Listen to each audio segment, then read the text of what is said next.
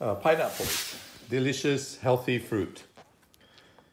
So when you buy a pineapple next time, make sure that you watch this video before you do anything with that pineapple, okay? I'm gonna show you a nice, simple trick.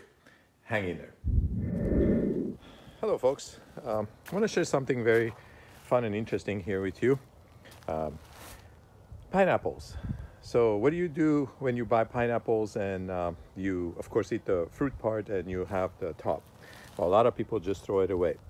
But if you don't do that, if you take your pineapple and you uh, snap the top uh, from the fruit and put it in just clean water and change the water every day or every week, uh, as long as it stays clean, well, guess what? It grows roots. And once it grows roots, uh, you can plant it in a planter in your yard or garden and guess what you're going to get? You're going to get pineapples.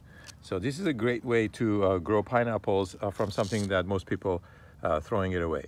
So once you get the roots you're going to see that you have a ball like this and the roots are coming out. So I'll, the way I plant this is I make a mound and I make sure that all the roots uh, drape around the mound and then I just cover it with dirt okay?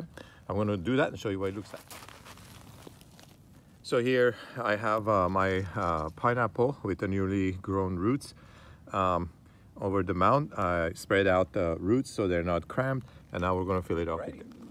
So here we go. Got my pineapples in there.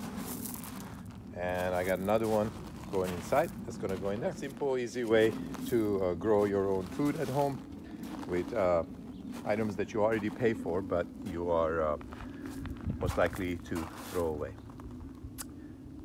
I hope you enjoyed this video.